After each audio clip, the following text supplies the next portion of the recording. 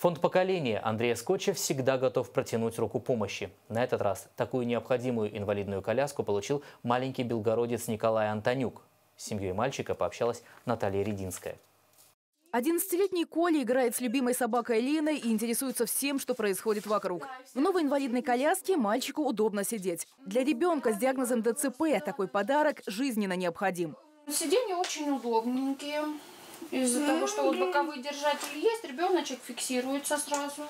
В благотворительный фонд поколения Андрея Скотча семья Антонюк обратилась по подсказке знакомых. Помощь пришла даже быстрее, чем ожидали. Инвалидная коляска немецкого производства. Здесь удобные сиденья, боковые держатели, современные амортизаторы. Мама Коли признается, купить коляску самим их семья была просто не в силах. Мы очень благодарны тому, что фонд поколения э, приобрел для нас ту коляску. Дело в том, что инвалидные коляски для особенных детей – это не просто средство передвижения, это связь с внешним миром, возможность общения с другими детками, с людьми. Мне очень удобно его катать, к примеру, из комнаты в кухню для того, чтобы покушать.